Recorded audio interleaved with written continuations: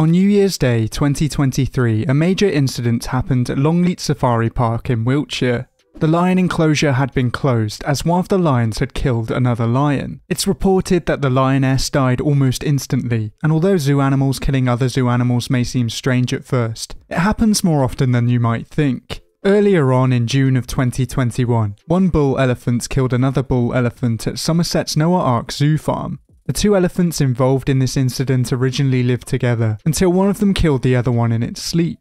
Both of these tragic incidents happened at two zoos that are relatively close to each other and happened in a relatively small amount of time. These sort of conflicts aren't rare in zoos, and it leads to some people asking if zoos should be allowed to exist anymore. Of course, this is a very controversial question, and there are pros and cons that come with keeping wild animals. In theory, zoos are a perfect way to educate people about animals, and also provide a great day out. Zoos give people a chance to see animals that they might not ever see in their lifetime, and it also educates them at the same time. It can also help spread awareness for endangered animals, and people are more likely to care about an endangered animal if they have interacted with it or seen it with their own eyes. Zoos can also offer a new home for neglected animals and also animals that have been abused. There are still quite a few more pros to keeping animals in zoos, but in most cases they are easily outweighed by the cons. For most large animals in zoos, it's almost impossible to recreate their natural habitat. Of course, you can give them lots of space, but they are unable to roam. And in the wild, most large animals travel large distances each day.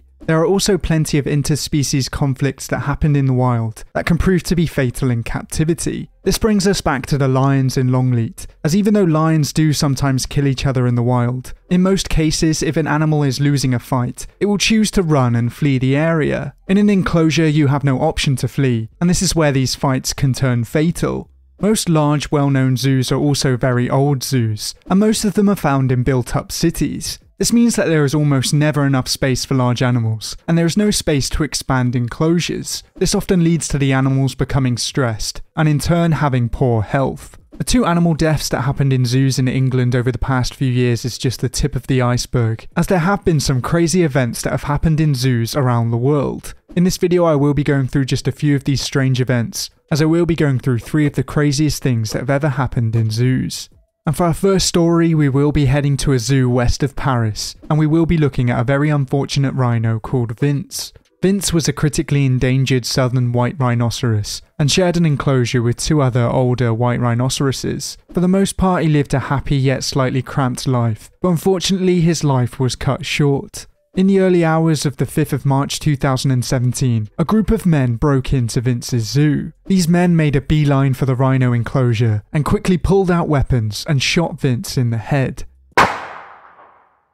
Luckily, the other rhinos scattered, as the men then produced a chainsaw. They quickly sawed off one of Vince's horns and got partially through the second one until they were disturbed or their equipment failed. They then quickly left the zoo with their rhino horn, leaving Vince dead in his enclosure.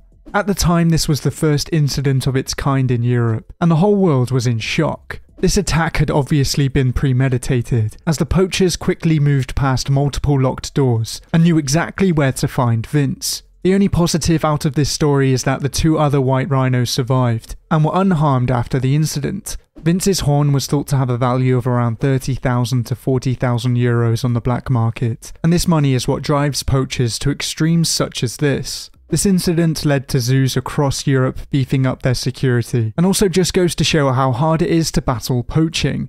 Not only are animals being massacred at an astonishing rate in the wild, but they're also not safe in captivity. Vince's death was a truly shocking and depressing event, but if you want to help anti poaching efforts in the wild, I've left a link to a donation page on the WWF website down below. And even though Vince's life was tragically short, hopefully he's brought some awareness to the conservation of his species. For our next strange story, we will be heading over to Ohio, but instead of heading over to the Columbus Zoo, we will be heading over to a small area of private land in Zanesville. This area was once home to a small private zoo, and to be honest, the idea of a private zoo is something that I can't get my head around. Private zoos seem to be a mostly American thing, and I often see arguments for private zoos in my comments. Personally, I don't think anyone should be allowed to keep a large wild animal on their property, especially if it's a non native dangerous animal. There seems to be a trend on social media where people try and make wild animals look cute or in some ways harmless. If you keep a large non native animal as a pet, you will get a lot of interest and interactions online. You often see this with celebrities that like to keep lions and tigers, but in almost every single case, the animals are not treated as they should be. Lions and tigers are often kept in cramped conditions and are treated almost as large domesticated cats. Wild animals are called wild for a reason, and they can be very dangerous and unpredictable. This was illustrated perfectly in Tiger King, where almost every private zoo owner had something to hide, or had suspect motives around keeping animals.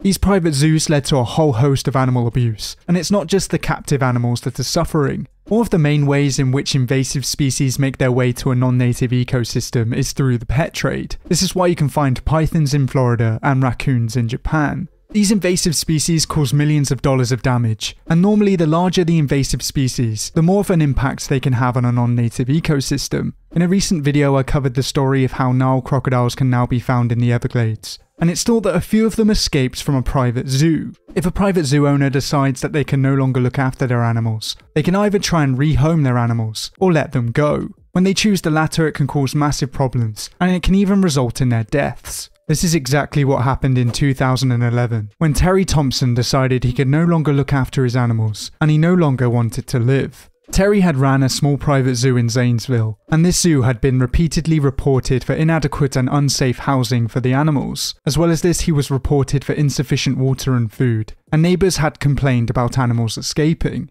On the tragic day of October the 18th, 2011, Thompson allegedly set free 50 of his 56 exotic animals before shooting himself in the head. On his property, Thompson kept lions, tigers, bears, and wolves, and they were all set free to roam around Zanesville. The ensuing chaos led to almost all the animals being killed by law enforcement, and only a few survived. After everything was under control, the bodies were counted, and laying dead were 18 Bengal tigers, 6 black bears, 2 grizzly bears, 2 wolves, 1 macaque, 1 baboon, 3 mountain lions, and 17 African lions. The survivors were 3 leopards, a small grizzly bear, and 2 monkeys, and these animals were tranquilized and sent to Columbus Zoo. One of the surviving leopards was subsequently injured and eventually had to be euthanized at the zoo. After a long investigation, it was found that Thompson was heavily in debt and his wife had also left him. One of the craziest things is that he was described as an animal lover, and if you had any love for these animals, you wouldn't keep them in such conditions and eventually let them go to be shot. Seeing all of Thompson's dead animals is really a tragic sight, and really I don't think he should have been able to have kept them in the first place. This has to go down as one of the biggest arguments against private zoos, and hopefully something like this doesn't ever happen again in the future. But for our final story, we will be heading over to Cincinnati Zoo, because I can't make a video about crazy zoo stories without including Harambe. Now, Harambe was a western lowlands gorilla and lived in Cincinnati Zoo from 2014 to 2016. Harambe lived a mostly uneventful life, but this life came to an end on May 28, 2016.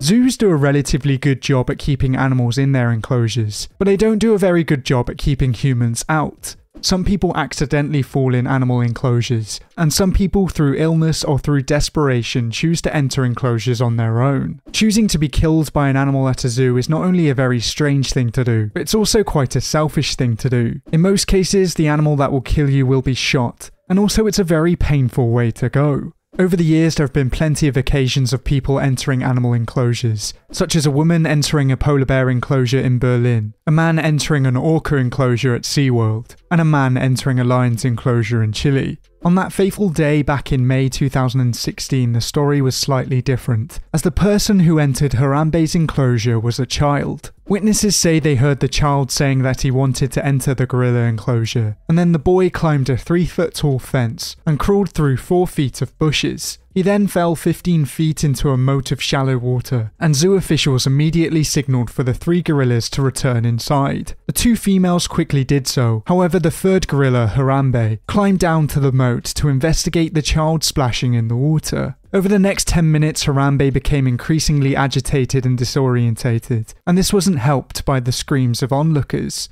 He carried the child through the water, occasionally propping him up when he sat. Fearing for the boy's life, the zookeepers eventually shot Harambe, and he was killed exactly one day after his 17th birthday. Of course, plenty of memes have been made about Harambe, and the killing of Harambe was thoroughly criticised. The zoo should be criticised for letting the boy enter the enclosure, but really once the boy was in the enclosure they had little choice. Silverbacks can be very unpredictable and aggressive, and even though he looked to be caring for the boy, the situation could have changed very quickly. Most experts agree that shooting Harambe was one of the only options, but the boy shouldn't have been allowed to enter the enclosure in the first place. This is possibly the most famous event that's ever happened in a zoo, and even though Harambe didn't do a lot wrong, unfortunately he was gunned down where he stood.